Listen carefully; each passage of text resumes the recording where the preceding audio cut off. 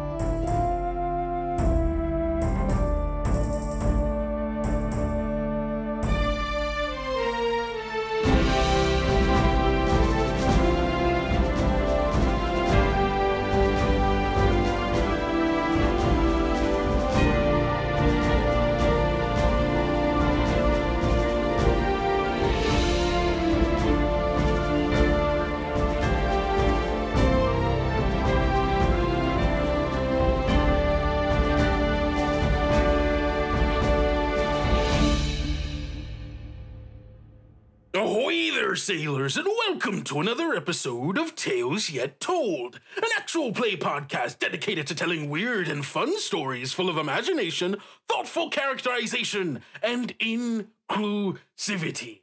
I am your most humble of game masters, captains, and, well, uh, I guess I'm scrubbing the poop deck today. Name's Kendrick, or Kendo if you prefer.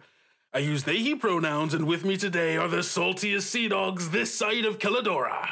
Gus. Generic pirate phrase everyone hi i'm i'm i'm gus i uh use he him pronouns i'm playing felix again we're all fucked aren't we we're all just gonna die Lots of people are dying these days, I'm hearing. lots of people are dying these Days. Lots of people are dying. Watch out for dragons in your area, folks. It's the new hip thing. it's the new yeah Ugh, new God. hip thing. Who you playing? What's your. Oh, wait. No, you already said that. i already said that Yeah, you already said everything you needed to say, so this is kind of on me. yeah move on You know who else needs to move on? Hilda. That's so mean. I'm so sorry. That was so uncalled for. what? Move on. hilda hilda you need to move on Hilda, we died. Hilda, you have to move on. I gotta move on. Um, so I will not be introducing myself. I'm moving on. We're moving on to the next person. No, Hilda, please. All right, sorry. My name's Hilda. I use she, her pronouns. I am playing Avery, who uses he, him pronouns. And everyone's gonna be fine. Everyone's gonna be fine. i don't think you can guarantee that That's an an Avery guarantee. I don't think I can give that. It's my deepest wish. You know who else is my deepest wish? There's a gun to my head right now. Ellis. Did you did you say that just because I'm here? Is that what? Or, anyways, um, Look, I, there's too much baggage around here currently. You have done this some of it fully to yourself.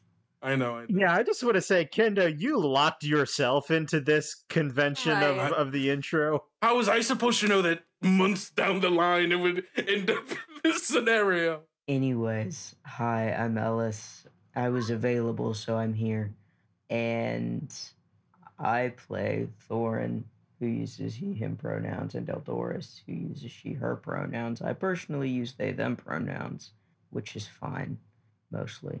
You just got them all covered. Then I just try to cover most everything. that's gonna be a good one. You know who else tries to cover almost everything? Marceline. Uh, hi. I try to cover everything. I cover it up so the police don't find it. Yes, right? rhymes Um, hi.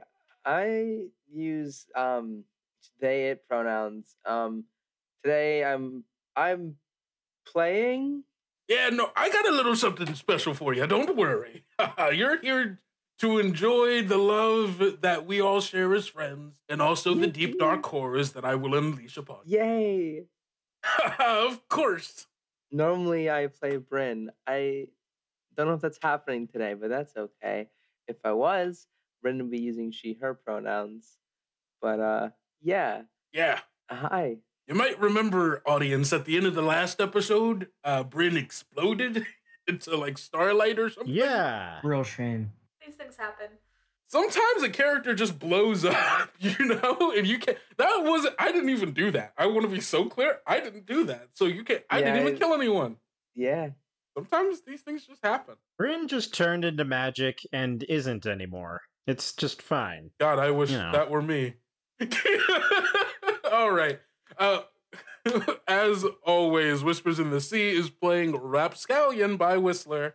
Uh, you can find it uh, over on Magpie. Go get it. It's a fun game. Yeah, no, there's not really much else to say except this is without a doubt the last of this season. We said that the last two times. Yeah, we did say it the last two times, but this time I fucking mean it.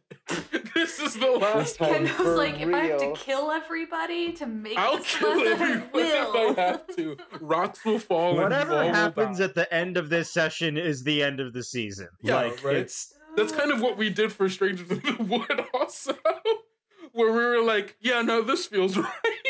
I'll kill a thousand player characters before I let this podcast go on. all right, we just we got to get to the waves, folks. We've been holding off too long, so let's see what's at the bottom of the sea. Goodbye. Let the waves The claim waves, us. the waves. that's not are we going to the bottom of the sea? That's not where Yeah. we're at. That's where we are now. Kendo killed us all. Gonna be the octopus's garden. All right. Where we are now. Everyone's at the bottom. And I think our camera fades and it comes back on a scene many, many years ago, hundreds of years ago, on an island. The island you all just left, off the coast of Espinora, or, well, it wasn't Espinora then, land that would soon be known as Espinora in the forest. We see a ethereal figure moving through it with colors of teal and fuchsia and starlight glittering about her body, large and furry, not in the same way that we knew it or know it, but it's Aviva floating through the woods alongside another woman standing somewhere around like five three five five wearing these black and gold silk clothing with big thick leather boots and an array of like pouches and like satchels and straps like all like all around her like kind of in the most like archetypal alchemist kind of deal where it's just like she's just got so much shit on her to like be able to like throw something together and like toss and like all of this stuff right? I think in the back we hear like the sounds of like other people also moving through the forest with them as well as aviva and captain tortinet and their crew make their way through the woods of this island and i think our camera can tell from the way that we see aviva at this point not having the blindfold uh, even in this ethereal form, having her eyes uh, in her head being able to give her her sight, we can see like the full like expression of her face now, right? We can see that there is this curiosity, as if she's being called through this forest, and as they make their way through the woods, eventually they come to a clearing, a lake beside a mountain cave, and there in this clearing, floating above this lake, is a figure, bright as the morning sun, but viewable. Marcy, describe to me what Bryn looks like in this moment. I think where those tattoos and rivers of light had originally ran through Bryn's skin are now cracks in her being. And there is kind of just a vague humanoid form and shapes of body pieces that kind of move about and float as these um as, the, those same fuchsia and um, teal um, lights uh, kind of fill the gaps and swirl around the extremities. And at the center of the mass is a open sort of cosmic gate of sorts. You can stare directly into that rift that we've seen several times of just that open expanse of space. You see that uh, is like the in in the body of this this entity um, and at the center of it is just a very bright glowing light none of Bryn's features are there the head, similarly to the chest, is another open uh, cosmic gate with a, with a small light in the center. Bryn's form is a lot was much larger than what we know her to be. And Bryn, as you are floating here above this lake, expectantly, having called them here, having called Aviva, reaching out to your connection with her, you see a younger, more not naive, a more inexperienced Aviva alongside her captain. This woman whose face you cannot see. Like this woman is like shrouded in like silks and and robes and such. And really the only thing you can tell about her are all of these satchels and pouches and things she has on her that she's collected. But you can tell the way she regards you with interest and uh, caution, but not fear, almost as if she has nothing to fear from you. But Aviva looks upon you with wonder, delight, and awe in the same way one sees the sun. And as Aviva approaches, almost kind of in the same way one would approach someone of higher status, a queen or regent of some sort. Greetings, dear my lady. I am Aviva, Waysir for Captain Tornet. You have called me here. For what purpose? Sister, you may not regard me as your superior. We are equals here.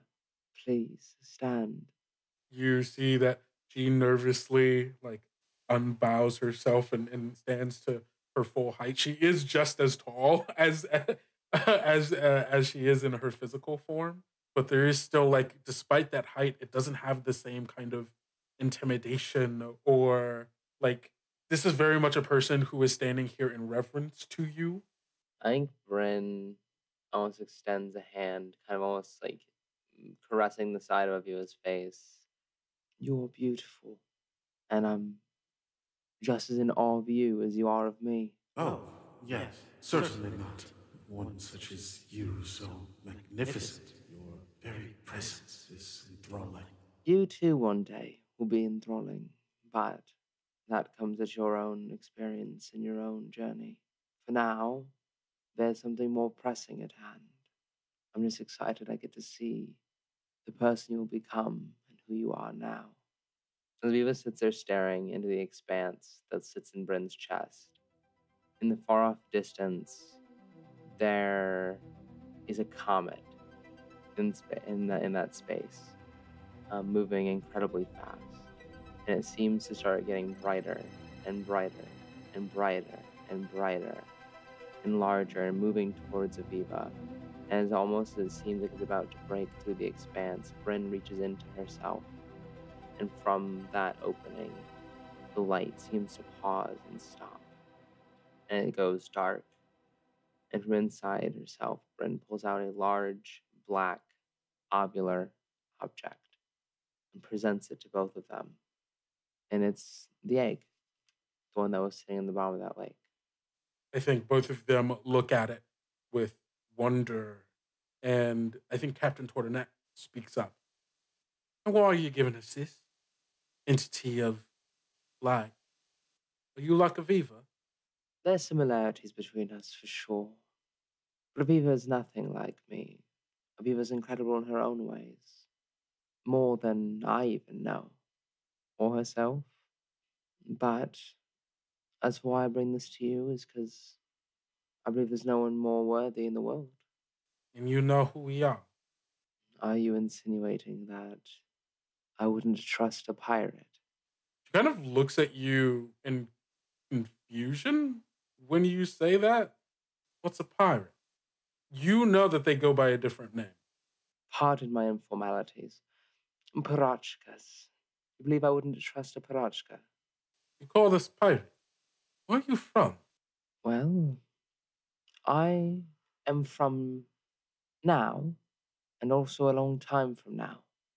A little bit of everywhere. But if you ask where I'm from, oh, I grew up in Belle Nuit, just like Aviva here. Uh, I think Aviva and uh, Captain Tournette turn towards each other like, what the fuck is she talking about? What is happening? Bella Nui, another place that doesn't exist at this point in time. they were still part of the Empire, right? At this point, Uh, the Empire also doesn't exist. doesn't exist. Okay, Yeah. this is so. This is before. This is so. I need to explain how old This is real is. old. Yeah. Aviva is so old. This is pre-flood then. No, this is not pre-flood, but this is like this is like the age after flood. Like this is like So like These are some Haven exists, but yes, that's it. this is like these are some of the first people out exploring the world once the waters recede, and then monsters are everywhere. Oh. like that's how far back That's in time we are at this point. And Aviva goes, Sister, I know not of what you speak, but if you and I are similar and the same, and someday I shall be as great as you say, then what purpose does this egg have in our future? and I think you can see she's like slowly, kind of almost like reaching for it unconsciously. Sister, this egg will bring about a new age of the Celestials. It will bring about all we have foretold, closer to the gods that we've ever been. Imagine it, sister, what it would feel like to see a god. Of course. Yes. and her eyes i think widen as she just like is so like enraptured in like this egg right in this experience and like just still like slowly reaching out for it like eyes unable to break from the egg I can see it. Our future. Our world. and i think captain tornet hasn't taken her eyes off you and like from like the shroud like you can tell there is this almost growing like not distrust because i don't think she believes in like this i don't i think she understands within like the celestialist like makeup of like what aviva has told her but i think there's a lot of it she's like okay oh, no there is power here but i don't know what that power is and sees this as some kind of extension of it but is untrusting of its motive. And goes so what would you have of us then hold on to it. If you're willing, if you believe me, and you might not, long from now there'll come an age where monsters no longer roam the seas, at least as much, and parochkas are hunted rather than praised, or few and far between, and the world is growing dim, and the powers that be are trying to clasp down on those who wish to build their own lives free from their shackles and this egg will help as much as anyone can, but hopefully more so. I wouldn't be here if I didn't believe it to be. Your legacy will die at the boot of an empire. Hmm. It'll take more than a boot to squash me. But fine.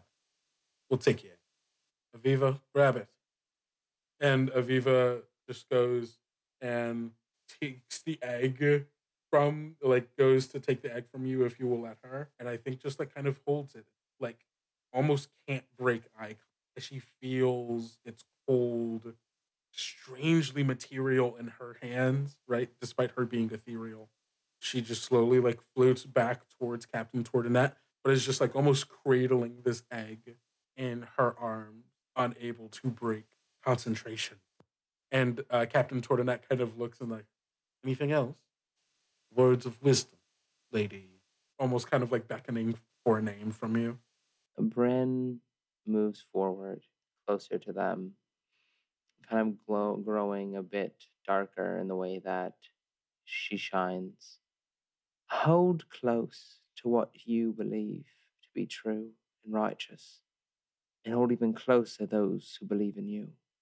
Dark times are coming, and only together can we win and prevail and build a world that's worth living in. All right, then. I'll take it to heart. Is there something we should call you? Do you have a name? Or, you know, in case I need to tell anyone, you know, so I can quote you. From this day forward, you'll look in the sky and you'll see me. I'll be the standing God. And hopefully, when you need me most, I'll be there. You can call upon me. The standing God. And I think she, like, kind of curtsies in, like, a very sarcastic way. it was like, ah, yes.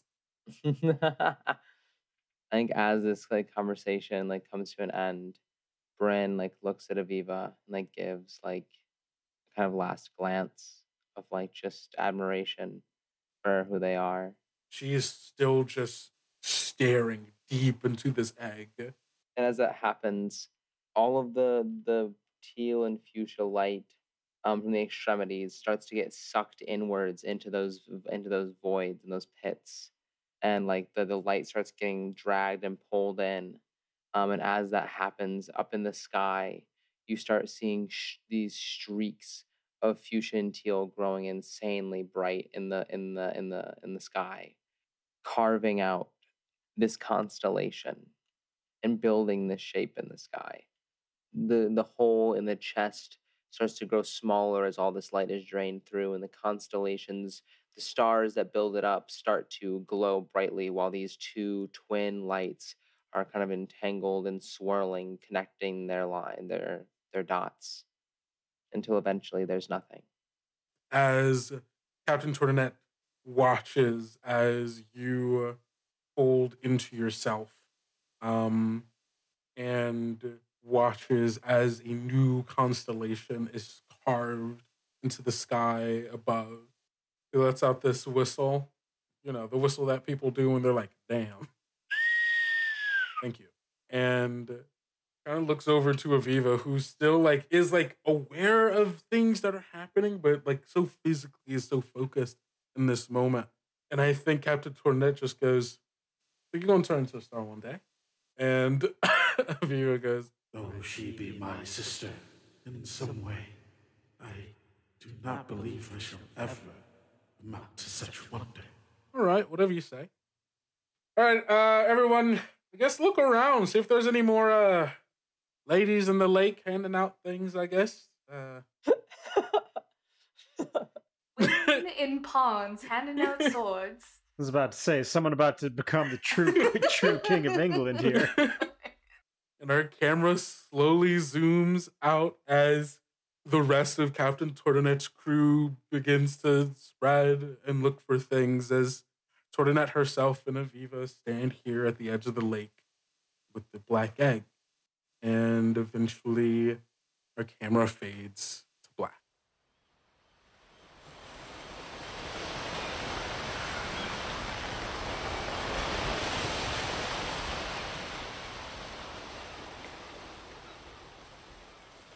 Our camera opens up on a flash of light, spreading throughout this space of uh, strange grays and starlight and flecks of fireflies as stardust twinkles out of existence above the heads of everyone around this forest lake.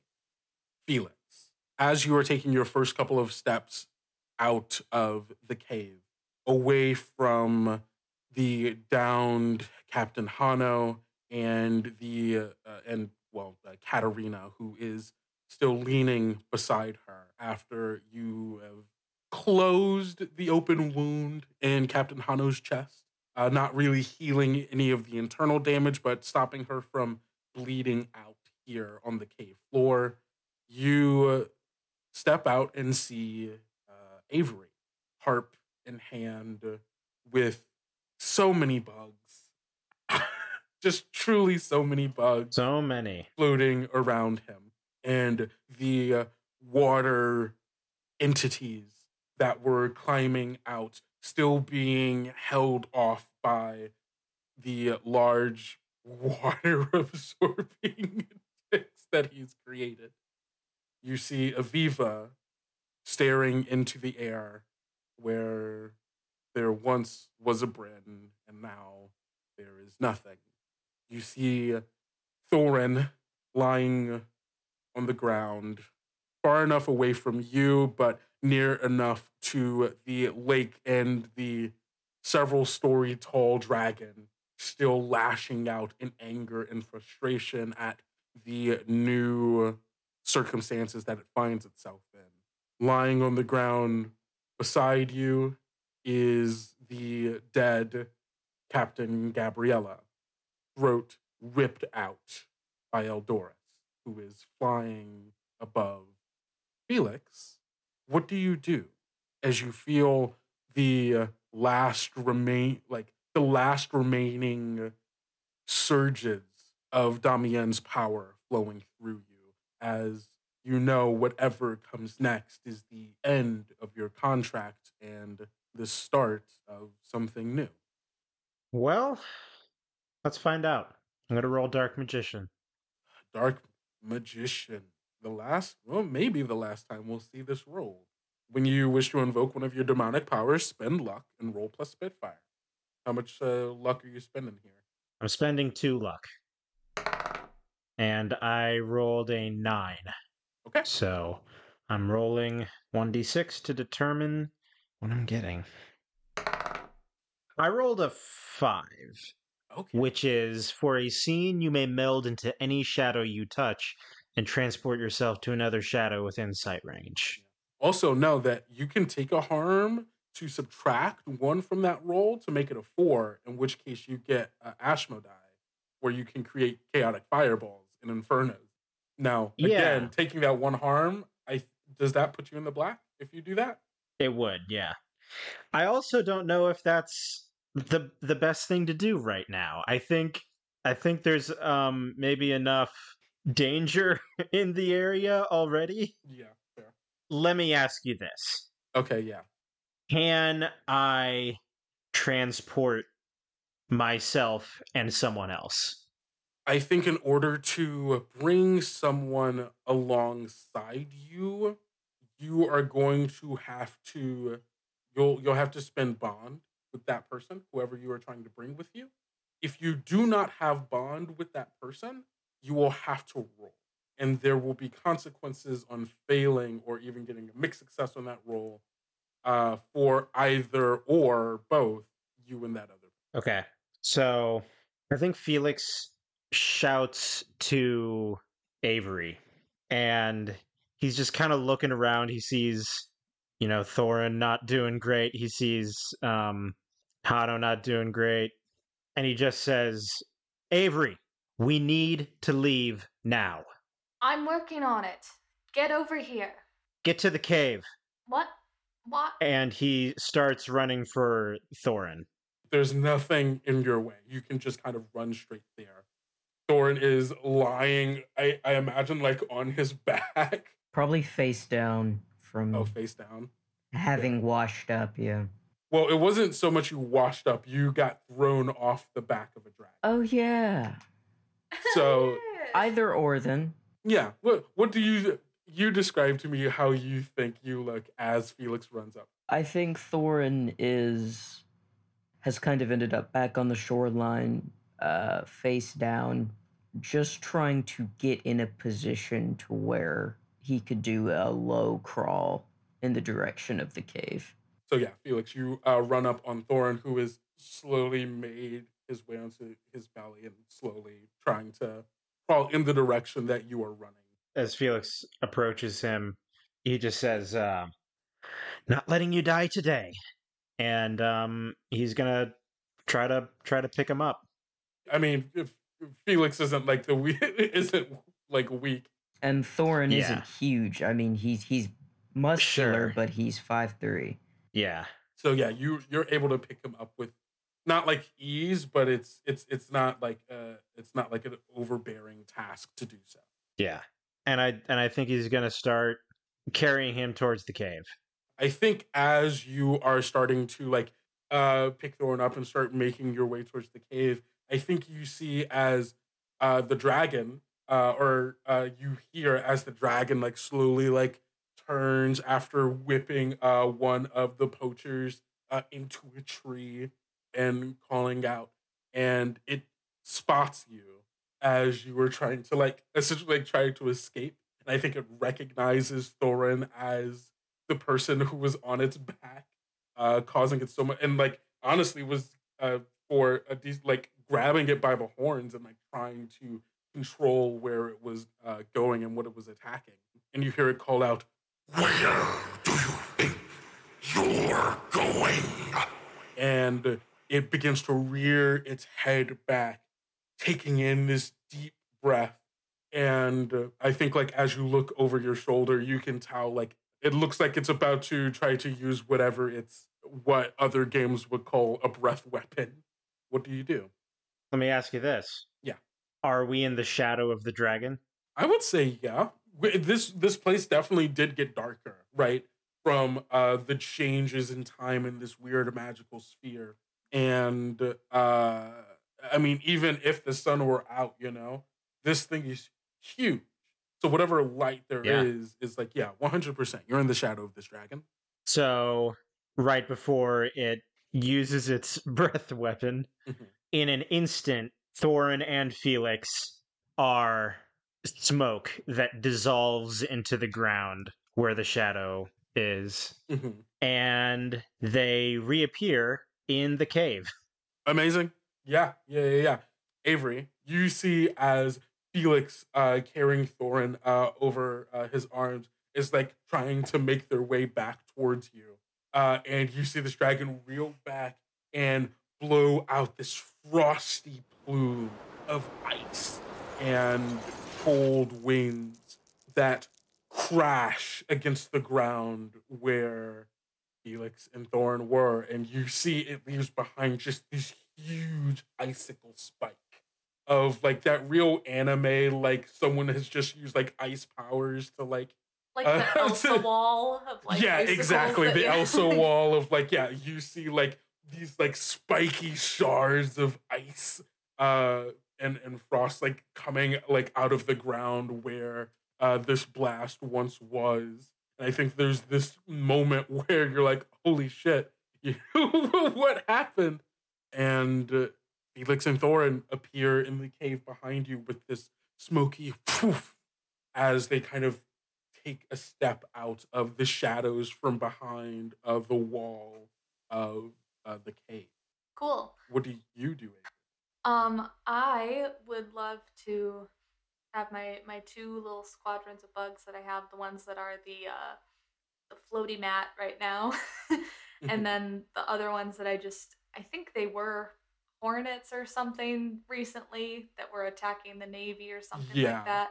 Uh, I think you had turned them into uh, some kind of. I, I think they were like bullet ants that were like biting Mm, them. possibly. stuff. That sounds so. like me. Yeah. So I want to take my two bug squadrons, and the ones that were like the mat that's holding the egg, I would like to turn them into like thinking like Atlas moths, something big that can like carry, and like they're just going to be a whole bunch of moths, and they're going to start flying the egg back with me towards the cave. I love how much you do. Um, I will say, do, do, do, do, do, having the mods, I think right now it is uh, contending with the dragon that is currently here. Okay. The dragon being fairly riled up uh, in this moment. As far as the dragon knows, the dragon has killed Thorin. It has no sense of they disappeared before the ice thing. Mm-hmm. I think the dragon is rather pleased with itself in that, but is now seeing that there is a more creatures that are moving, but also it is having this interesting pull towards this egg because of what this egg is. That I think as soon as it like starts seeing like all of these moths start to uh Give me one to- to- then.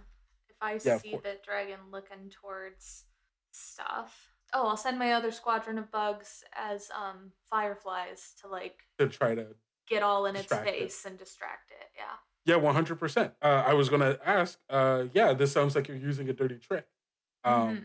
especially now. So, uh, roll plus vinegar to get these uh, fireflies to distract the dragon while you move uh, the egg back towards you. Seven. Okay. Uh, I think essentially what happens here is uh, on a hit, your trick works.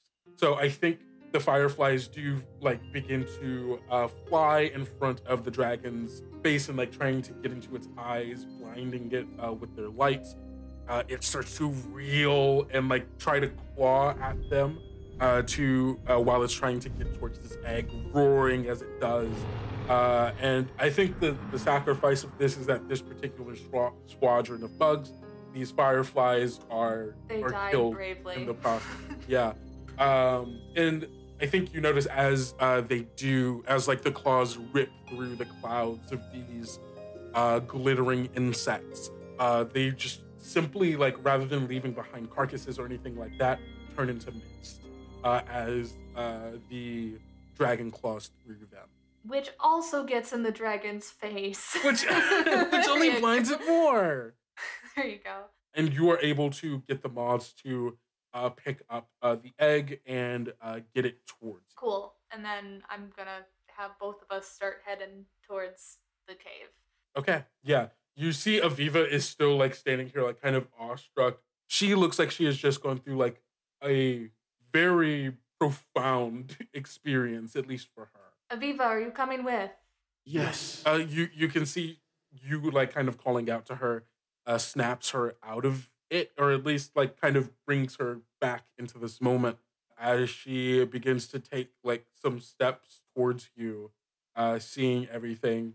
We have to hurry. Yes, I can. I can close off the cave. Get in. and we'll like start heading towards you. Eldoris, you're flying above. You have seen what looks like Thorin and Felix get obliterated by this cone of ice released from this dragon's maw. Uh, you're seeing as uh, Aviva and Avery, uh, they have gotten the egg and are rushing back in uh, to the cave.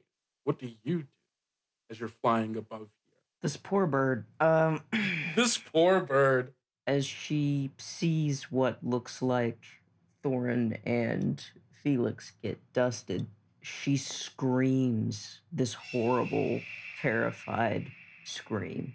And there's a part of her that I think what she starts to do, she she almost starts to commit herself to death and starts charging at the dragon. And then upon seeing Avery and Aviva heading into the mouth of the cave, I think she wills herself to change course and just does a sharp dive towards the mouth of the cave.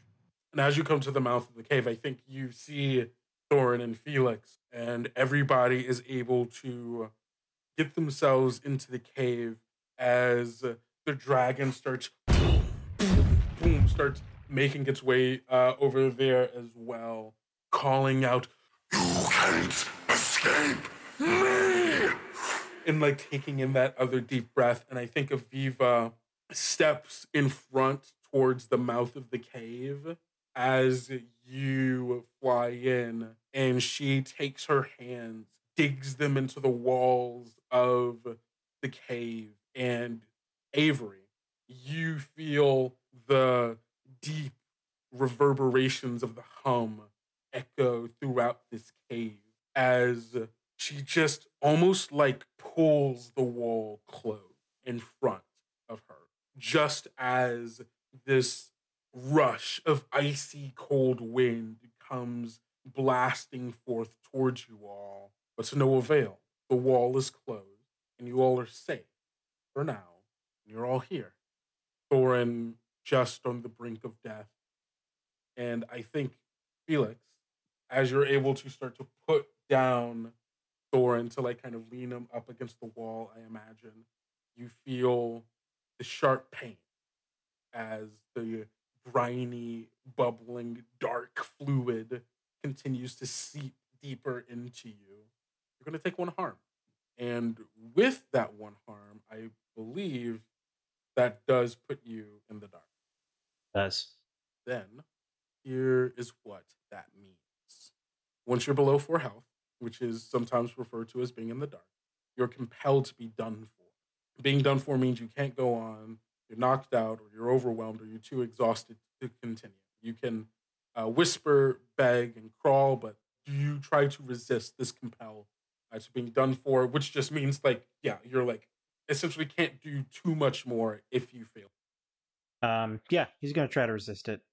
Uh, whose rank are you spending to resist? Weirdly enough, as he feels himself nearly, you know, nearly dying, he I don't think he's ever been this close to death before. And to everyone else, it looks like he's talking to no one. But he whispers to Damian. Mhm. He says, This isn't it, is it? And the voice whispers in your mind. Oh, of course not, dear boy. No, no, no, no. I won't let you go that easy.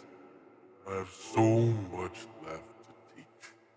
and you can feel the almost like this smoky grasp holding on to you like you don't see smoke but you can like feel this kind of ethereal foggy binding wrap around your arms and legs almost like splints keeping you steady and allowing you to continue moving or trying to. Roll this uh, uh roll this move for me babe. Uh 2d6 plus uh, however much uh, rank or however much bond you want to spend here. Oh, I can spend more than one? Uh yeah uh, when you stand your ground in the face of a compel you must spend x bond with someone relevant explain how they're helping you overcome yourself and then roll plus x so you can spend as much as you have or want Okay. In that case, since I rolled a five, I'm going to spend two bond uh, with Damian uh-huh to get that up to a seven. Yeah, yeah, yeah. Amazing. So on a hit, you've escaped your vices. Uh, on a seven to nine, choose one. Um, you either take a weakness, you permanently lose rank equal to the bond that you spent, or you are in a worse position than before. I'm gonna I'm gonna take a weakness. I think you're exhausted, right? You you That makes you- sense, You, yeah. are pushing yourself, and like really, the only reason why you're still able to be up right now is because Damian is kind of supporting you through it. So you all are here, safe. Katarina is still holding uh, Captain Hano.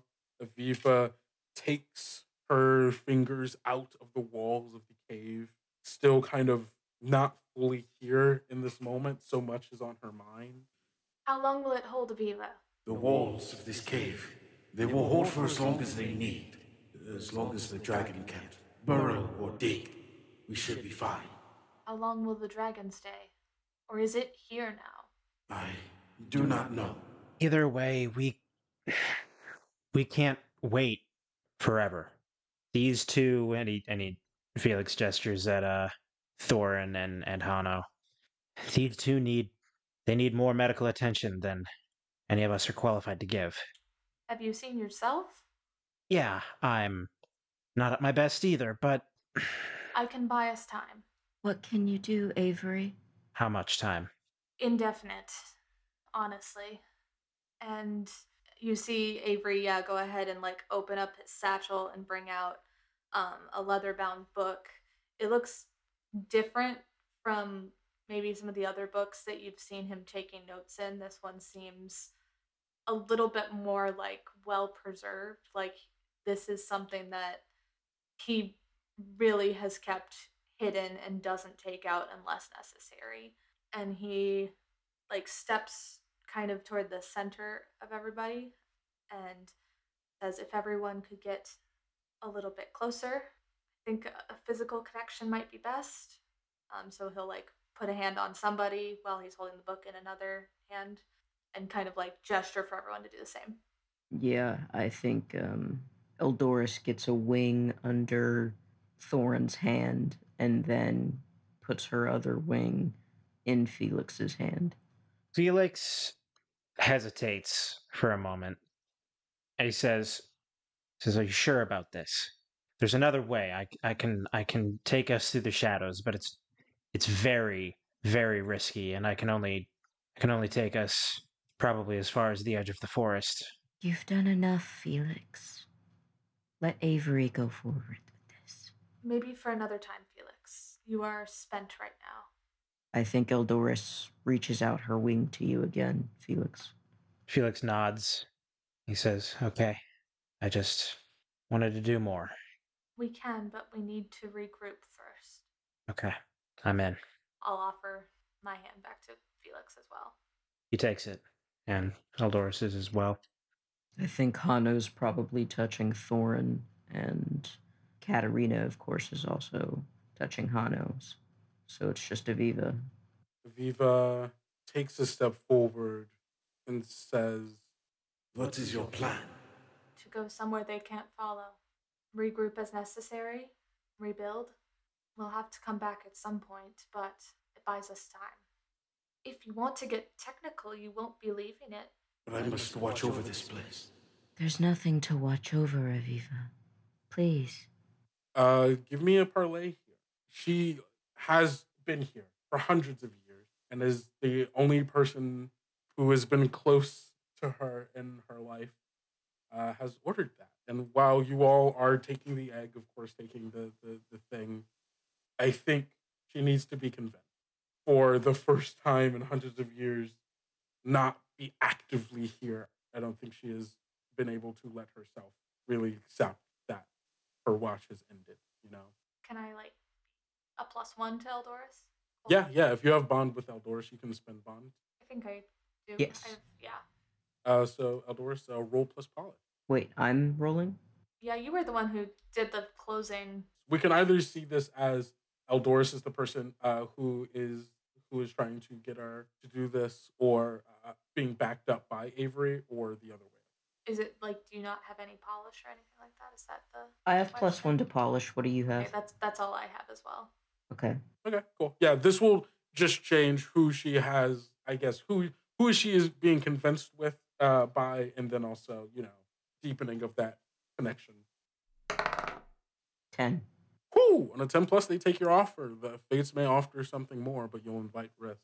I can't really think of what more would be here other than her just agreeing to come in. You know? Yeah, El- Eldoris just wants everyone to be safe in the same spot.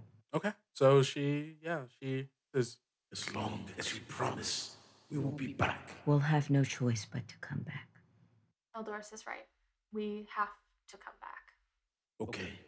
And she very hesitantly reaches her hand out. And uh, whose hand is she holding onto? I guess, is it Eldoris's feather? Maybe Eldoris's head, because both feathers are. Okay, yeah, it's yeah. like yeah. Eldoris I think, is like the connection point I think- people now. Got it. Yeah, yeah. I think I think what happens is the black stone arm reaches down and just like a singular finger touching the top of Eldoris's head. And Eldoris, like, leans up to do so. okay, everybody is connected. Yeah. Avery opens the book up and recites a somewhat notable phrase. Uh, Float away with me to a place beyond the sea where you and I can be free at the Driftwood Cathedral. And as he gets to that last line, I would guess that everything kind of just starts to go a little bit fuzzy in the background. And it's like nothing ever completely like goes away, but like it's like a, a fuzziness that then comes back into focus. And we're on the beach. You want to describe what this place looks like? Sure. So, as far as the eye can see, in almost any direction, it is just ocean. Except for directly behind us, where there is a large, somewhat looming and imposing cathedral. It looks a little bit run down, a little bit like it looks all at once like it's been in ruin for a long period of time like there's been nobody that's touched this in centuries but not to the point where it is it's not crumbling at all. It is still all there, which is like a strange dichotomy for it to have where all the stones are still in place, but it looks like it has been here for centuries and centuries yet untouched by like time. And all that is heard is the sound of the ocean hitting this small piece of land and a strange, almost hissing sound from everywhere that as you focus on it, you can tell that it's a bunch of conversations, a bunch of people talking, and you cannot hear the words, but they're all there. Like a very quiet, whispered chorus, kind of coming in and going out with the waves as well. As you all hear here, and as you bring everyone into this world with you, could I get you to roll plus Spitfire for me? Ten. On a 10, you all are here. You may be here as long as you want, and nothing else comes here with you. As you stand here, and if I if I may there's a quality to this place that feels odd, right?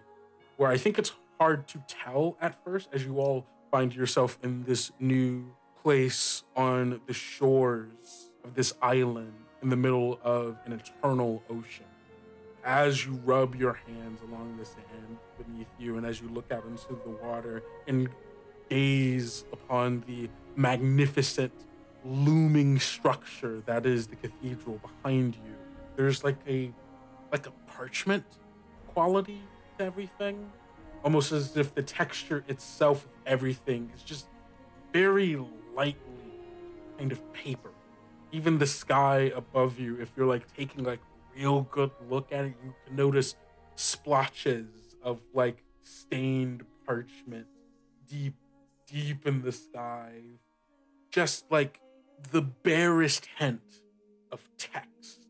But you all are here in the book in a version of the Driftwood Cathedral.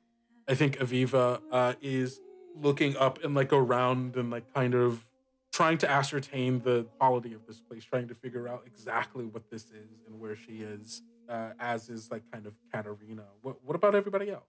I have a question. You said that all of us and nothing else came with us into the book. Can Felix feel the presence of Damien? I guess that's a question, huh? Avery, Mm-hmm. would you have let Damien in? I don't trust Damien. I'm sorry. Okay.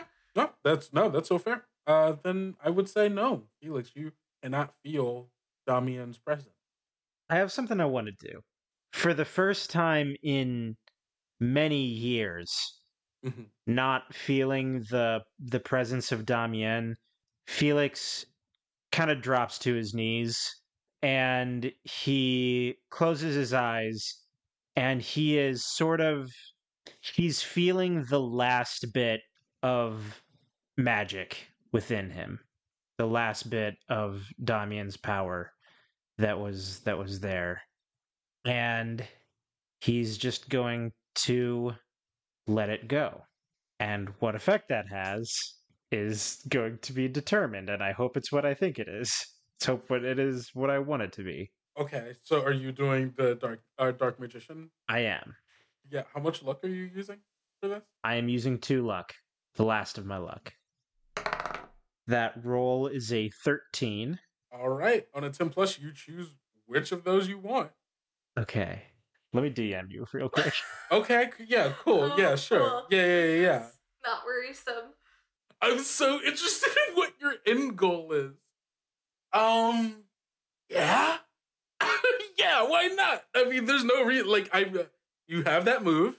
Um, took this move not knowing what i was going to do with it yeah, and I want to use it at least once. Yeah. And I just had this idea. yeah, yeah, yeah. I guess. Okay, I'm super down for this.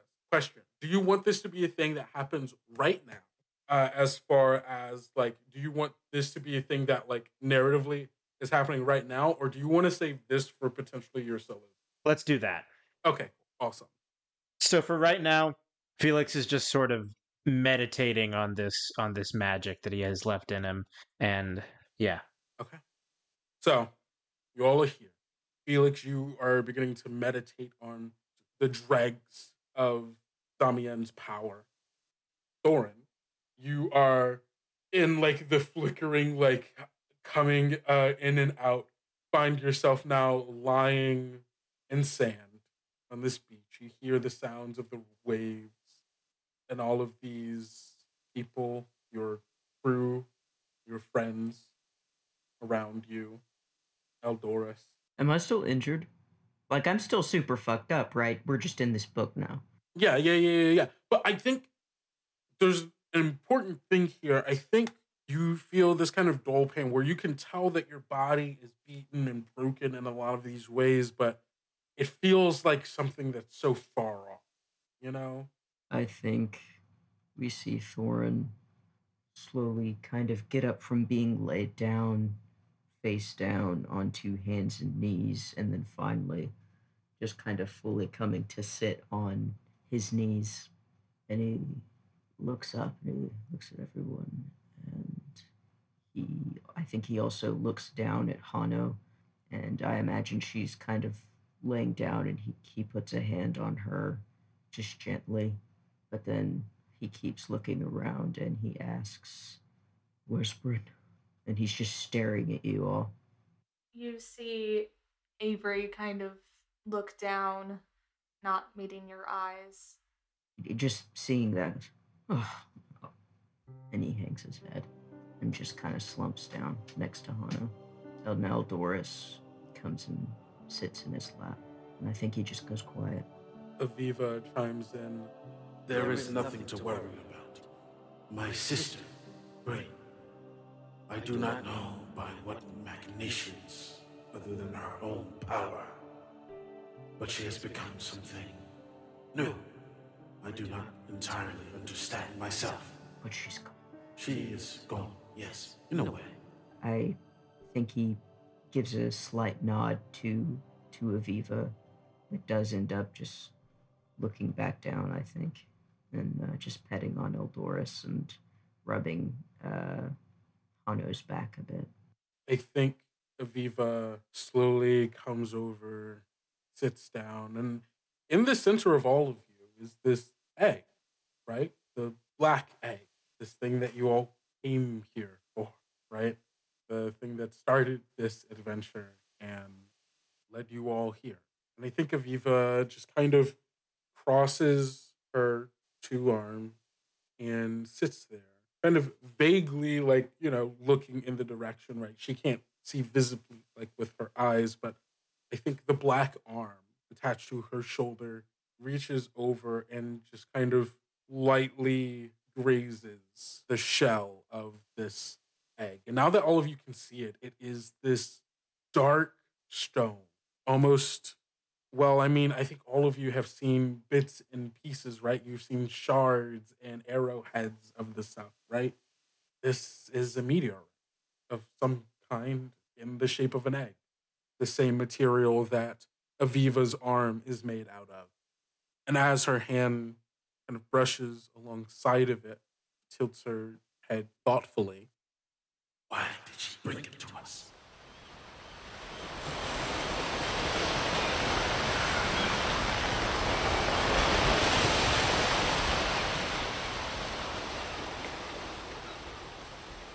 Avery, you are here in the Driftwood Cathedral, or, well, your version of the Driftwood Cathedral, hidden in the spaces between the lines in your very packed journal. It is a space that you've become familiar with over your time writing about it, researching about it it is but a reflection of what you imagine this place truly is, based on everything that you've learned, read, and dreamed about it. As you walk along its parchment shores, what is it that draws your attention most about the island, about the endless sea, about the cathedral itself? I think just the vastness of everything around me because I've been in this book from time to time, but like I've generally been very busy and not been in and in front of the whole conception itself. And I think when you put everything together and it is made a reality around me, it's just so much more overwhelming. You Mhm. can look at, you know, pieces of the puzzle and study and be like, I know that this is true and I know that this is true and people have said this and that. But when it all is like combined into the structure that is in front of me and the endless sea around me, I Mhm. think it's just an overwhelming and somewhat imposing place, even when I know it's a fiction. Of course. I mean, as you said, the cathedral is vast. It is, in many ways, familiar. The large spires and grand archways of its almost gothic design reminds you a lot of the Grand Cathedral in New Haven, the uh, home of the Church of the First Song, the home of the Dirge Eterni, the place that you have spent a vast majority of your life. But it is different in many ways. Its angles sharper, its material, despite having this parchment like texture from being in the book, has the semblance of rotting wood but with new growth still, dying and birthing at the same time. As you make your way through its imposing entrance, the doors of it almost broken off of its hinges, leading into a vast and echoey chamber. What do you do?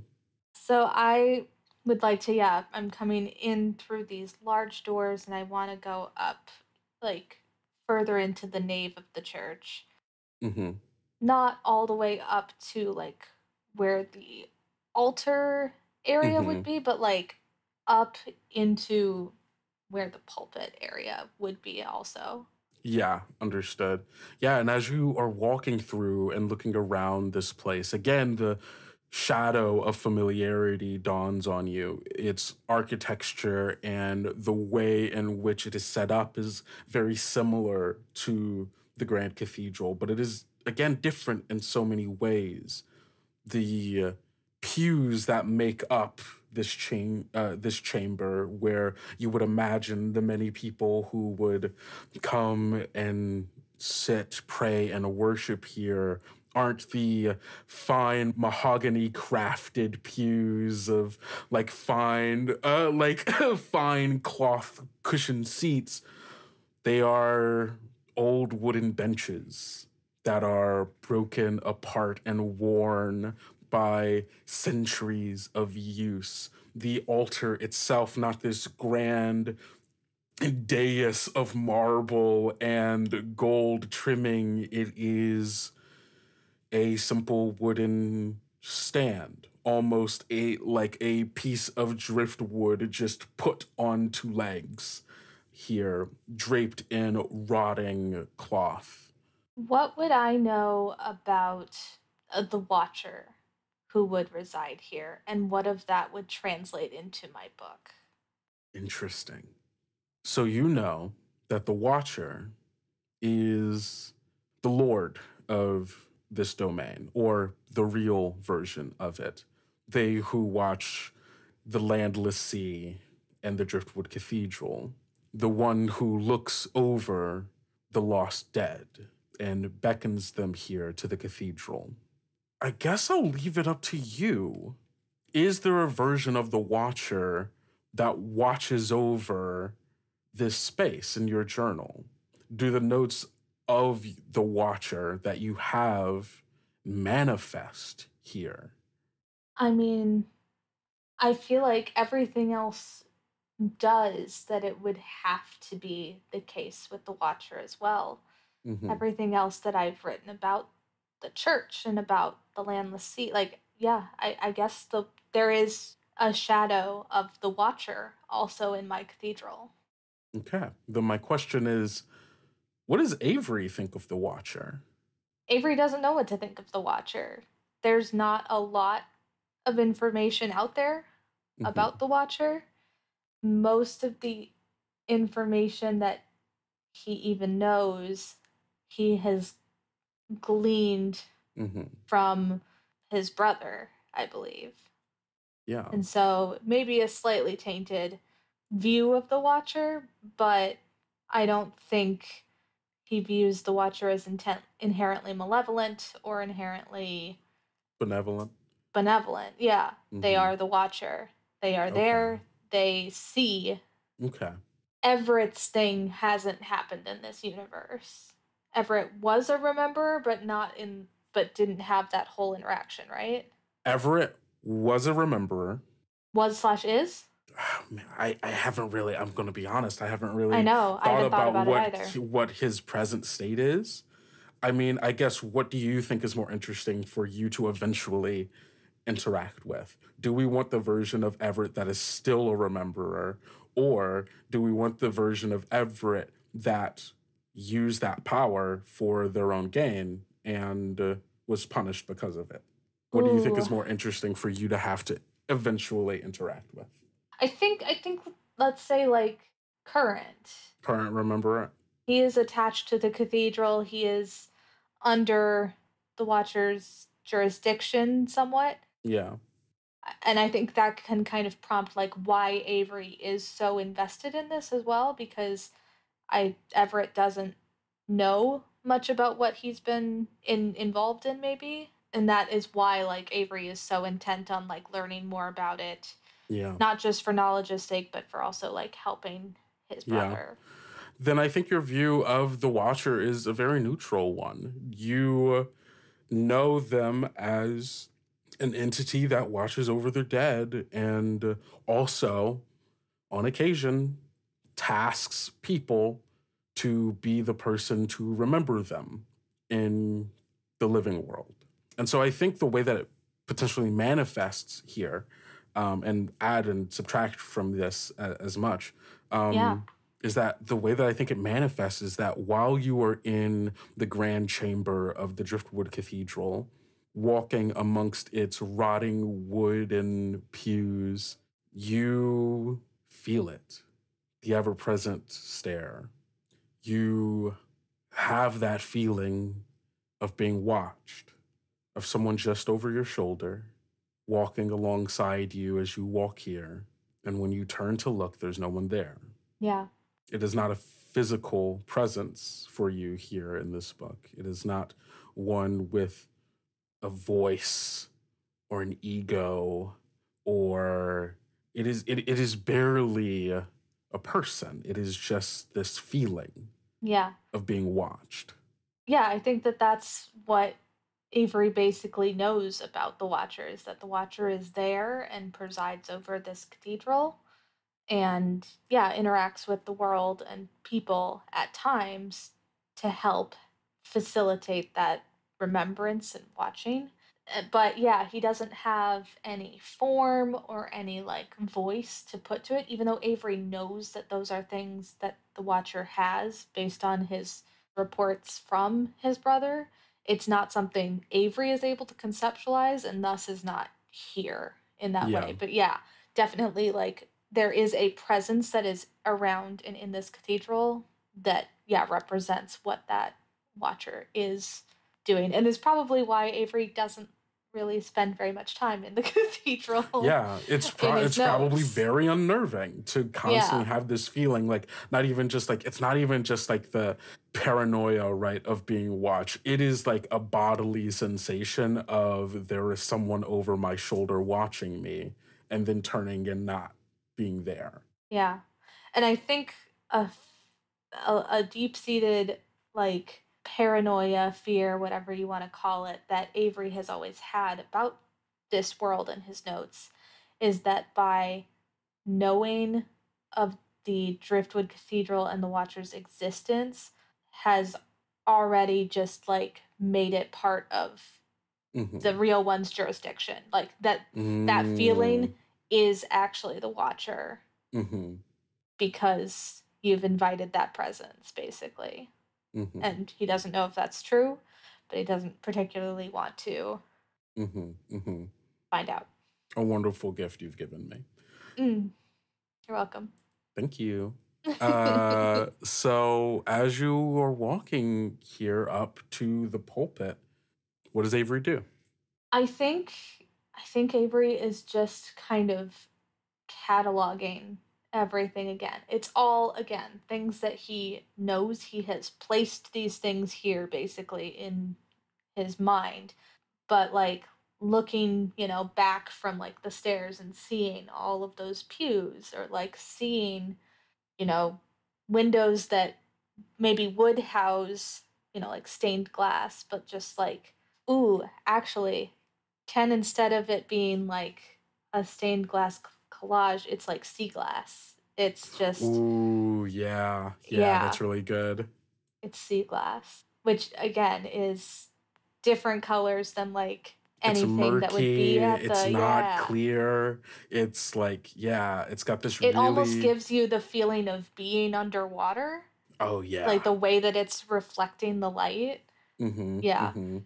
and it's surprisingly like I think okay wait I don't remember if out on the shores is Yeah. that where you can hear like the whispers and like yes, the, yes. Out on the shores, you can hear the the- whispers. and yeah. the songs and whatnot I think it's all very strangely muffled in here Mm-hmm. As if you were underwater. yeah That's so good. so yeah I think he's he's in there partially to yeah have that muting effect but also just like to explore these things that he's put in place and like Mhm. look at it as a whole. Yeah. And you walk through the many halls and between the pews and just dark rooms and uh and and and forgotten corners of this place that are for the most part empty, right? Because you who how is Avery to know what is in these rooms? Yeah. It is a lot of empty halls and a lot of empty rooms and a lot of empty passageways that Avery can imagine, but truly has no real idea of what may be in the Driftwood Cathedral. Yeah. Um I think once I get to the front, yeah, uh, can I can I just I don't know, this is a weird question. Is there anything to like investigate or like look into cuz it's I mean, it- I guess there it's all stuff be. that I've yeah. yeah, like what I mean, You're yeah, right. it's also yeah, it's like all stuff that you've written. So there's not a like, is there anything here that you don't know is here? I guess there's not. But there could be the fact of like having all, you know, again, all these disparate puzzle pieces Yeah, that are kind of forced to come together yeah. if there's a bigger picture to be seen in any way. Yeah, that's fair. Um, yeah, uh, roll your investigate move, and let's see. It, what what is it specifically that you are looking for? I guess, or trying to glean from this. I'm trying to glean like not exactly like a like good and evil sort of deal, but like I'm trying to glean just something about like is this place an okay place to be? Like is this something I should Mm, be Mhm. worried about or I should be wary of? Or is it, you know, truly the neutral place that I've viewed it as? Especially knowing that, like, Brynn had a very different view of this place than I did, and that Brynn was intent on, like, destroying it. And I'm Mhm. like, is this a place that needs to be destroyed? Yeah, Or am I, is, is it, is there different views? yeah, understood. Okay, uh, roll plus vinegar. Okay, that is, I think it's a nine. Yeah, that's a nine. Okay, on a seven to nine, you get to ask one of those questions. All right. Yeah, is there something dangerous here? What and where is it? Okay. Or mm, should I do dangerous or hidden? Mm, two very interesting questions. Two very Right. different, but, but Different, but like the interesting same, questions. but also yeah. I'll guess I'll go with yeah. Is there something hidden here? Is there something yeah hidden in these pieces to give it a greater meaning? hmm hmm Let's see. As you were exploring, your version of the Driftwood Cathedral, hearing the drowned out whispers and singing of those who are lost outside of it, and lit by the murky sea glass windows of the cathedral. You make your way back into the grand chamber up near the pulpit and its strange, simple altar. You hear something. It's muffled similarly to the voices that are outside, but muffled in a way where it's not like this isn't a distant sound that sounds like it's coming from underwater. This sounds like a sound that's being like muffled almost like by like a bag, you know, when someone like or like when like someone puts like their hand over their mouth and they're like Mhm. are still trying to talk. Uh and you hear a and it's coming from the altar. I'm gonna go up to the altar. As you go up to the altar, you notice something for the first time that you hadn't seen.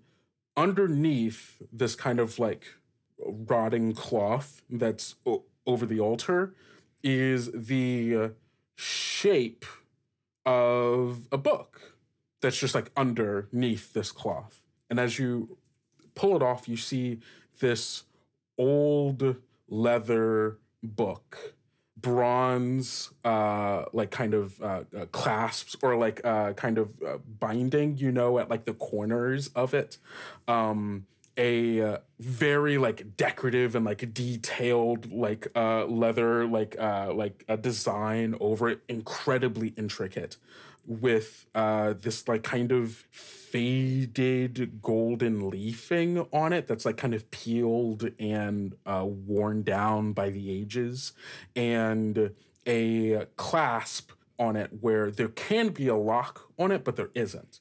But the book is closed and you still hear the voice coming from the book oh, no, hey, here would be great Uh, yeah, I'm gonna, I'm gonna take the book and I'm gonna open it up. As you start to unclasp the book, you feel it begin to rumble and shake uh, uh, in your hand. And as you get the clasp off, the book throws itself open out of your hand back onto the table and kind of like. Well, thank you, Avery, my boy. Couldn't get that latch off myself, but with you around, I suppose I didn't need to. How are you doing, old boy? Who, who are you? And Avery, I think for the first time in a, a while, things have been super busy over the past uh, bit. Um, that I feel like the feeling of the hum has kind of been kind of in the back of your mind. It's something you've become quite used to, I, I imagine, over these uh, couple of days, especially being around Brynn and Aviva and everything that has just happened. I think that you've been kind of thrown headfirst into the exposure of the hum that as of this point, it's probably kind of faded in the back a little bit for you. But in this moment, as this strange talking book has uh, kind of revealed itself to you, I think the feeling of it becomes quite prominent again. Not in the same way as where you were feeling it, where it was coming from everything, but it's very specifically for you in this moment coming from this book. I would like to try and pick it up again. It lets you. Says, oh, okay, all right, being a little handsy, but that's totally fine. I'm gonna start flipping through. Okay, uh, Pages. uh, okay, and you're, as you're doing that, it's like it, it, it, um, you start flipping through pages, and there is a language in this book that you aren't familiar with. Um, there is. What? What are you? What are you doing in my? What do you? What do you mean? What am I? What am I doing in your notes? Uh, you put me here. Oh, Avery. okay, okay. I see things are getting a little confusing. I suppose. I just uh, think of me as a friend, because that's what I am. I, I am a friend indeed, and I am here to aid and support you in anything that I may be capable of. Now, I should be, I guess, a bit more specific on that. I can help you with things that I know. and that's anything in the contents of this book, I suppose. So you know what I know. Oh, well, I mean, I know things that you don't know. We're not the same person, obviously. Oh, all right. Um, Come on, ask me a question. why are you humming? Why am I humming? Oh, that's because that's where the hum comes from. Everything. So technically, uh, I'm humming because everything has a hum. But I might specifically be humming for you a bit more uh, noticeably uh, because, well, perhaps you need me in this moment. I know that's a bit vague, and uh, it's. I wish things can be more specific. Sometimes there are things that are just vague, and we do have to learn to live and understand with it. But think of the hum as the thing that makes things be. Right? Okay. We have All that. right. So, if the hum is what makes things be, then our attunement to the hum and the various things that find themselves attuned, be they uh, animals, be they spirits, be they celestialists, be they whatever, they are attuned to those things because those are the things that help them be. Does that make sense? On a level, sure. Right. I- Okay. Okay. Okay. Um, I'm sorry. I I'm still lost as to who you are and what I how I have come across you. well, that's easy. My name is, and there's this moment where you can tell that the book is still talking and saying something, but it doesn't come across to you. It sounds like you just get hit with this sudden burst of like someone took a cathedral bell. Let, let's say you were the person who has to ring the bells it sounds like you hearing the bell that you just rung up in the tower right next to your ear. A loud boom, just like deafening roar of a cathedral bell. I I dropped the book and stabbed you back. hey, oh, be careful. I may be a book, but I do feel pain. I'm not to know who you are then, I suppose. Well, of course you are. I just told you. My name is. Nope. no, don't. Uh, oh, okay. I'm sorry, Avery, old boy. Is it, uh, huh, peculiar? I So you're saying when I, sorry, be able to know. No, I, I please don't say it again. Um, can you describe the feeling that you're? like I've I've rung a cathedral bell above my head. Fascinating. I don't know why that would be. I don't either, but let's not keep doing it for now. Um, of course, of course. Huh? Is there something that's stopping you from being able to hear my name, or perhaps you are not allowed to know my name, or have I forgotten my name? Did I say it and only sing a bell ring? No, that's silly. I know my name. It's and then do. no, don't. Oh, sorry, Avery, my boy. I, I forgot. Uh, I will close the book again. Oh, please don't close the book. It, I, I do enjoy the ability to talk to you, I suppose. I've been waiting to do so for so long. It's, uh, Well, we will, I suppose, work on that. uh of course. Uh, yes. I hope there is a day that you will be able to know who I am, as it feels, I don't know, I guess I've been waiting for this moment to be able to finally speak uh, and see you when you see me and speak with me, but I, uh, huh. I don't know. We'll there's come up with a, an intermediary name Yeah, no, for sure. in, I in lieu of your your true one. I'm I'm sorry, but uh, Oh yeah, no, that's We'll work fair. on you it. just won't know my name. That's okay, I guess. I will endeavor to know it. But that seems to not be the case right now. Understandable. Yes.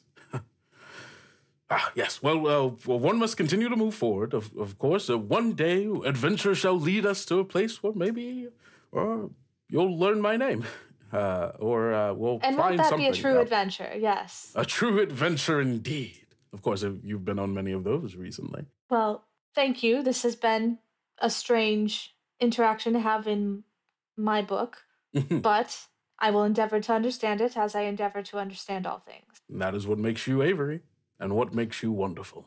I'm gonna just like I'll put the book back on the table so that it's not on the floor like I accidentally, you know, scattered it. I'll put it back on the table and I'm going to just uh go back to sit in like one of the back pews, and Yeah. I'm just gonna start writing. yeah. As you are walking away to start writing, writing, the book goes, "Oh, oh, okay. Uh, you're just gonna. Oh, you're leaving me here. Okay. Uh, Uh, that's uh, no, no, please. that there has been a lot of things. I'm sorry to. No, I understand. I understand. You have to process it all. uh, need You seem to know me well, and you shouldn't be surprised by this. No, I'm not surprised at all. Maybe just a little disappointed, but that's Uh, okay. oh, okay. No, it's no, no. I, I- get it. I You're you're you're going to do your thing. I did not mean to. I'm not trying to put any guilt on you. I'm sorry if it seemed that way. I just uh, it's a little mean, I don't want to lonely up here. disappoint. I, I, I have. No. in my mind, just met you. I know. I I, understand. No, I understand. I've known you for your entire life, and you've known me for five minutes. I just go this. That's too much of a mind fuck. Yeah, for me. Okay, bye. Great. Yeah. and you go to one of the back pews, and you pull out your things, and you start writing. What do you write? A letter to Violet. Violet, I've made such a discovery I can hardly believe it. I won't detail it here as we know how quickly things in writing make their way around the morgue and household, but suffice to say our suspicions were well founded. Perhaps not in a way we could have predicted, but certainly and profoundly well founded. You may want to dig a bit, though I'm sure you're quite busy with your upcoming nuptials. I will, of course, make it back for the event, Alice is obviously eager enough for our own as well. See to it that your Teddy is treating you well. Give everyone a hug for me, especially Sarah. With love, Avery.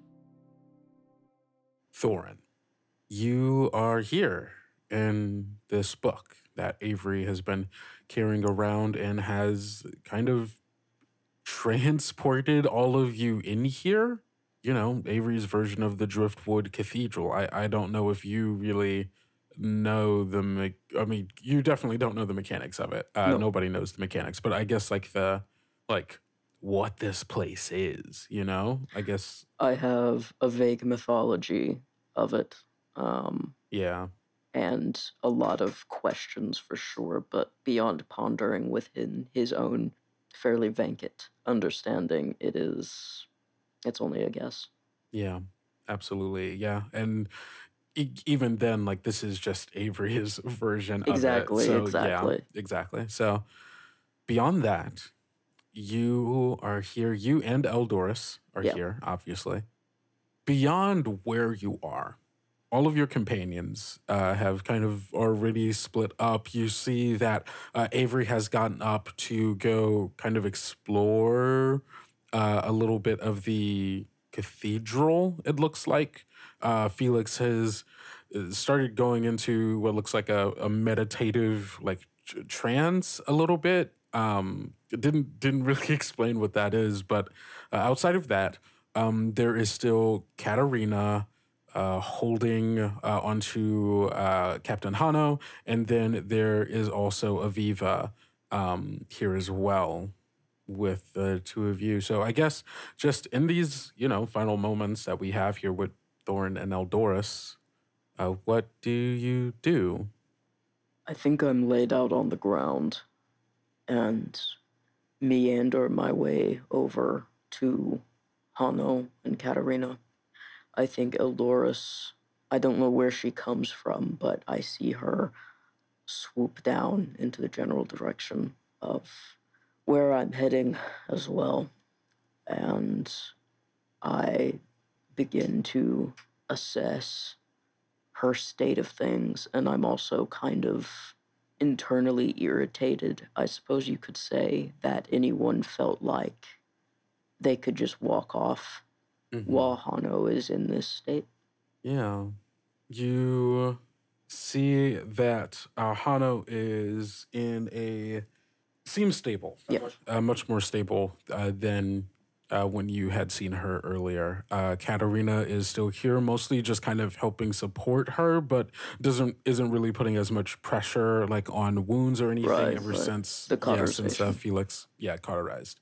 So uh, she just, you know, but Katarina seems more emotionally tired, you know, than anything. Uh, but Hano is like lying there in a, you know, a fever sweat, still kind of heavy breathing, adrenaline coming down, and just all around exhausted, you know, both physically and mentally. And, you know, sees you, you know, over there uh, coming and says, That was uh, some good work out there, Thorin. This is, uh, yeah, uh, let me see the wound. And Thorin goes to basically peel peel back uh Hano's shirt and see what the what the real damage is here. Yeah. So uh, underneath the shirt, you see the uh, kind of burnt, scarred flesh around the like center of her left lung, uh, like close to where her heart would be, but If it had been the heart, she wouldn't be alive anyways. yeah, exactly. We wouldn't be having this conversation. Um, like a bit to the left of her heart, and uh, yeah, you can just see like the burnt, like cr- crisp, like flesh essentially uh, around it. Um, it, I mean, it, it doesn't look great. She's not doing great. She she's stable for now, but her position will. She truly needs to be getting to a doctor Yeah. sooner rather than later. And you know, there's yeah, there's there's only so much you can do here. Um, We're not equipped for that. yeah. So, I mean, she's stable for now, but you don't know how long that's going to last until, you know, there's o- only so long you can live on one lung. Right. And is Hano conscious at all? Or is Yeah, she's she's ki- she's kind of fading in and out, but you can tell. Um, All right, I'm gonna try to talk to her then and see what I get back from her. You, you have absolutely no right to be alive. Won't let the naval dogs kick me down. Never come, never come. That said, you're quite fucked up there, last idea. oh yeah, bastards got me from behind. Katerina, do you have any any water or anything? Oh yeah, I um here, give me a and like goes to uh like dig through uh, uh the pack that uh, you know she brought and hands it to uh to to Captain Hano. I try to help funnel it into her mouth uh, if she if she struggles with it at all, and it is at that point that uh, Thorin kind of ends up uh, collapsing on the ground next to Hano, and is just there's a lot of labored breathing. I think uh, Katarina gets up as well and is like, "Ah, Thorn, not you too. Yeah, and we we hear uh, Thorin, is uh, Eldor. Thorin, I, I'm sorry. You set me out to be the lookout. No, but I. You know how it is. As good as me. At the end of the day, no matter how much you're cautious or how much you prepare, it comes for us all. Yeah.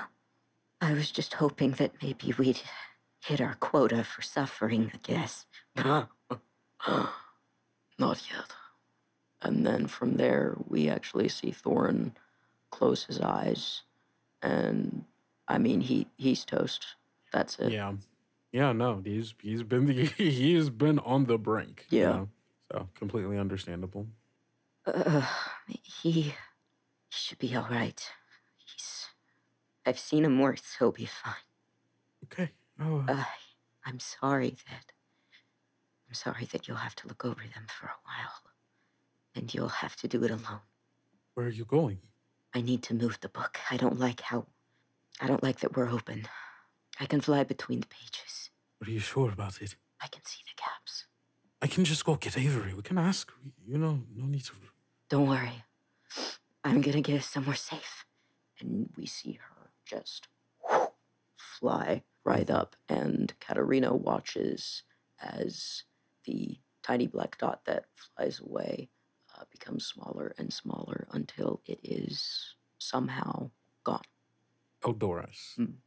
You are flying through a sky of words, floating up here like clouds on invisible strings. These words are handwritten, scrawled. You recognize Avery's uh, handwriting. Mm-hmm. And as you fly higher and higher, the words get more dense.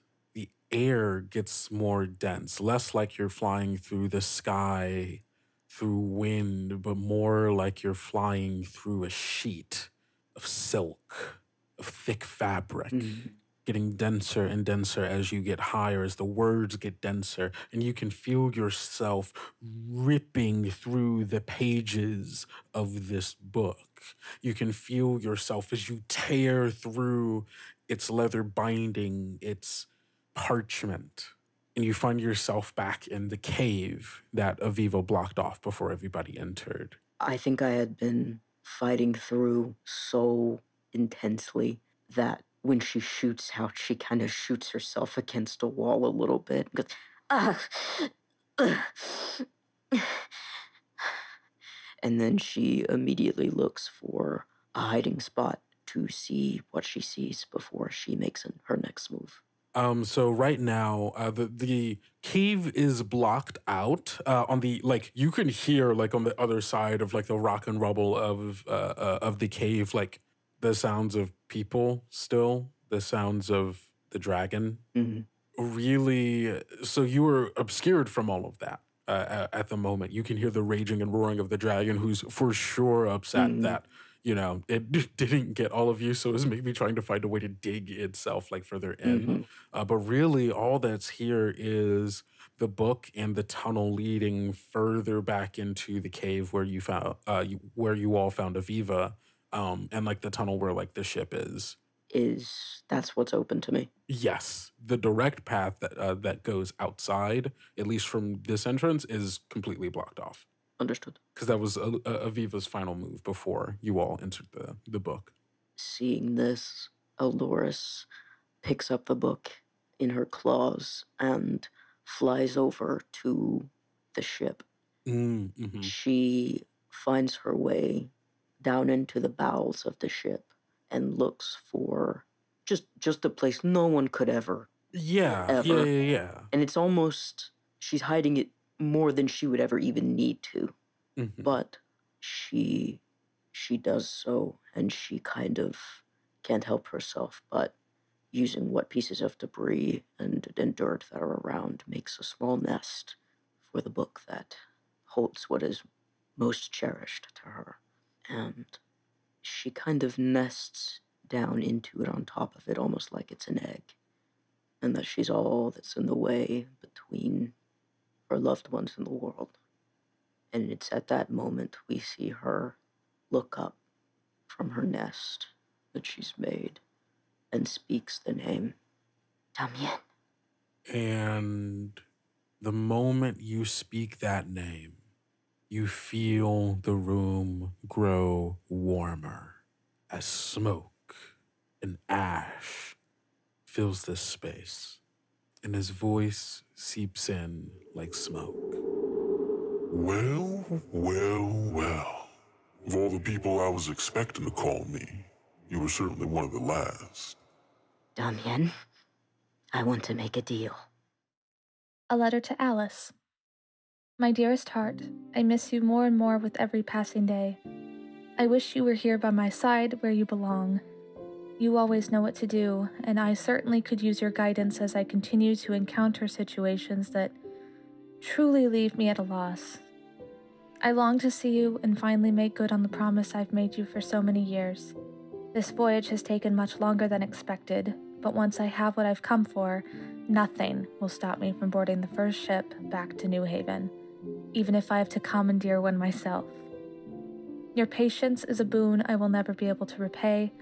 I promise this task is well worth it, and our life together will be all the better with this matter settled before I whisk you away. Yours always, Avery. Felix, you are in Avery's constructed version of the Driftwood Cathedral, an island in the middle of an endless ocean, overshadowed by the gargantuan, ominous monument. But aside from all of that, your connection to your patron, let's call him, Damien, is weak especially now that your contract is nearing its end. there is uh, only a little bit of his magic still flowing through you. And as you're focusing in on your power, what is it that you do with it? Well, I think here's here's what one would see is he's sitting on the beach, eyes closed, and he exhales. And with that exhale comes a cloud of smoke. Certainly not the first time that's ever happened, but this time Felix kind of falls limp and unconscious. And the smoke, to anyone else's eyes, dissipates. But in reality, the smoke is carrying Felix's soul. And it's carrying it past the realm of this book, past reality, even, Mhm. Yeah. and into a dream. What does this dream look like? Right? Because the, the reading of the, the reading of this, right? Uh, you're using uh, uh Amdusias, which replaces number two on your on your list. So no longer is it, you know, fireballs and stuff. You can enter the dream of someone, of someone whose true name you know. But you can sculpt their dreams and implant thoughts, feelings, or visions into their head. So tell me what this dream looks like, and I will place them somewhere in this dream. Okay. It's a dark room, almost like a like an old cabin, run down and and eerily eerily quiet. And there's there's a fireplace where a small fire is is uh is is is going and and there are two just old wooden chairs next to the fireplace. Felix is sitting in one of them, and uh, the way that Felix appears in this dream is not too unlike how he normally looks, except he is wearing a cloak made of black smoke, and he is wearing uh, one of the one of the masks that he often wears, but in this dream, it is constantly shifting in shape and color and design. Ooh, that's really good. I love this. And sitting across from you in the other chair is concertmaster Cassius Morrigan III. He is this tall, lean man. He's not broad and intimidating in the way that a lot of people of power tend to try to hold themselves, you know? There isn't this broad shouldered, you know, muscle bound, uh, or even like, you know, sculpted uh, man in front of you. There is this well kept, dark brown uh, beard and mustache, like kind of sculpted into like a goatee uh, almost. There isn't even like the shadow of uh, of growth like over time, right? Like like perfectly shaven, clean, hair perfectly coiffed, and wearing these extravagant clothes of like silk uh, with a, a blue gold vest and perfectly tailored pants. Everything on him looks as if it were, and it probably is, perfectly made. There is not a fold or crease out of place. His eyes are calculating and discernful, analyzing every bit of you and kind of getting almost kind of caught in a moment in the ever shifting mask that you're wearing. The one part that he cannot seem to discern your identity. I think there's this moment where at one point this place did not exist and now it does. And the two of you are here. And there's almost like not this feeling of like surprise coming from him, if that makes sense. Mm-hmm. He almost seems to like, there's this moment where like he looks around, realizes that he's in this place, but like nothing about his body tells you that he is uncomfortable or confused. He is in almost full control over his mannerisms and looks around and says, And who are you? Felix smiles. He says, Hello, Morrigan. You wouldn't know me by any name that has any meaning to you. Speak your business, then. You who have called me here. I know not by what means, but I'm more than familiar with your ilk. Those of you who work in dreamscapes and magic. You can drop the act, Cassius. If I may call you that. You may not. You sit here before Concertmaster Cassius Morrigan the Third. And while I know you know that, I don't think you know. I'm familiar with how dreamscapes work. And he folds his legs over. You cannot harm me while we are here, so any threat of violence means nothing. Now, I don't know who you work for or what you think you're, but I will hear you out before I decide what to do with you. Oh, there's no need to worry about little old me. I'm not here as an adversary, concertmaster. Allies usually don't hide themselves behind shifting masks and appear in dreams. Usually there's a gift up front, perhaps money, women, food, artifacts, anything. You invite me to a cabin with a fire, not even a meal for us to share a conversation. What do you have to offer me, if not a threat? I'm not an ally either, Morrigan. Think of me as, well, let's just say I know a little bit more about you than you think. You. You think yourself a man of faith, do you? I don't think I know. But you've been consorting with very unholy sorts. Uh huh. Is that what this is? Blackmail? You're trying to get some confession out of me that I'm working with what? Pirates? Spirits? Devils? Demons? Not blackmail, no. More words of encouragement. Because I know, I know you've dipped your toes into the truth. And I know, deep in your heart, you're figuring it out. That church of yours, the first song, it's a lie.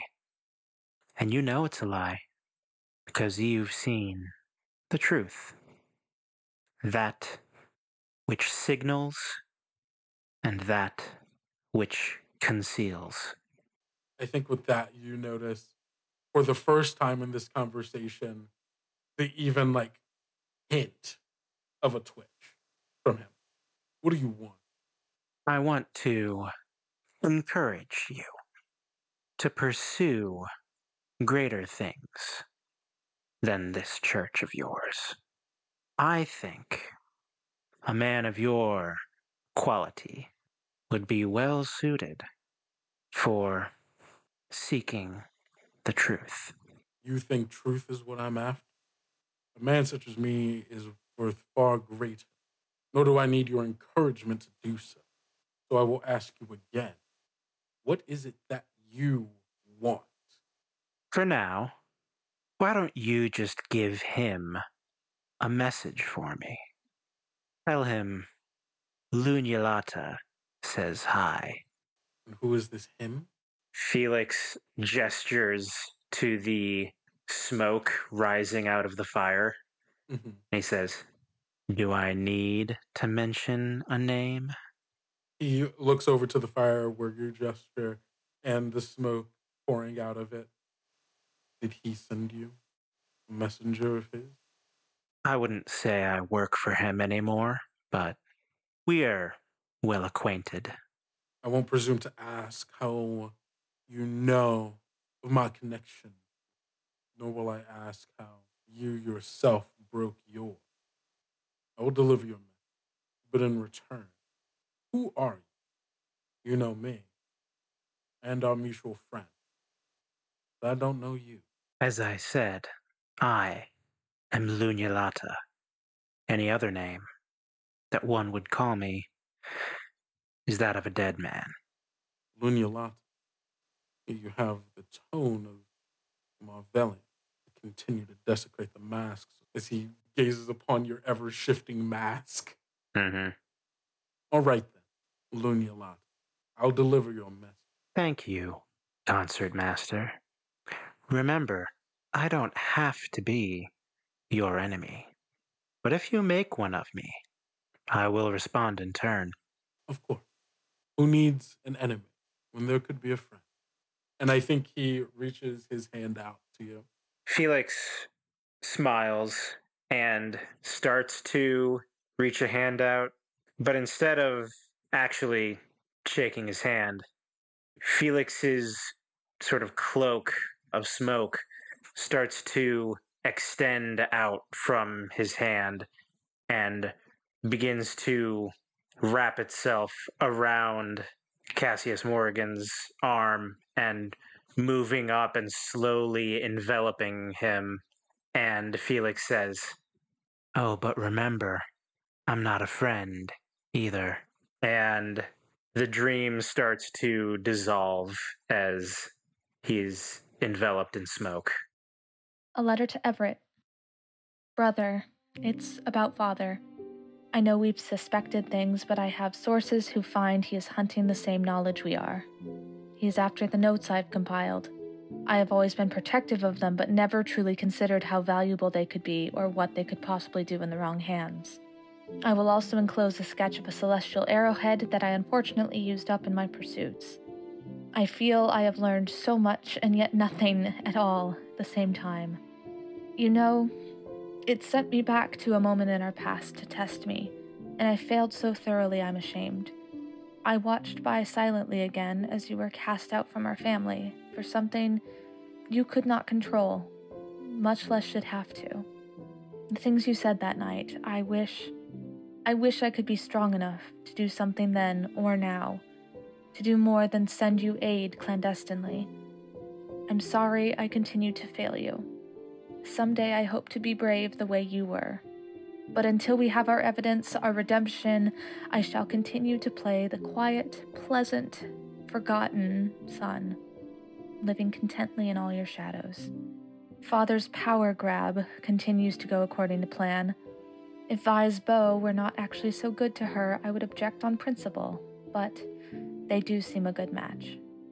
I continue to keep her alert, especially with upcoming arrangements and binding vows. May the goddess keep you always. I will keep you abreast of any new information. Alistair.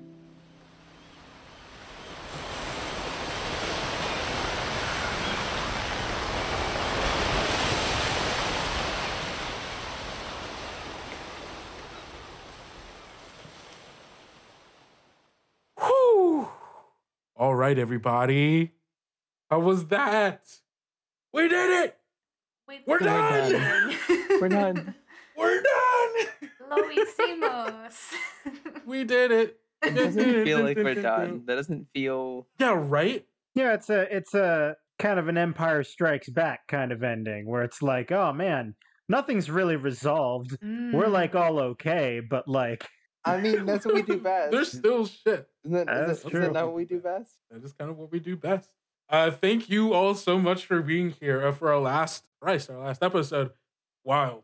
Uh, Whispers in the Sea Gang. That was it, or that was season one of it.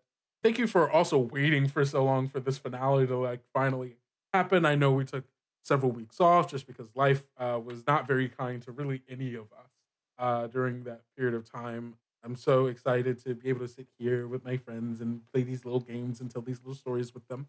As always, I'm, I'm so grateful for everyone uh, for, for being here playing with me, but also for all of you for listening to our show. Uh, it genuinely means so much to me, specifically. I can't speak for anyone else. Thanks so much. Any of you all have any last words to say to people? I don't know. I just I hope that you liked our little journey. I hope that you appreciated uh, the way that all of our characters grew and changed. Yeah, right? Thank you for being with us on this wild little ride. It's just really nice to know that other people connect with our story.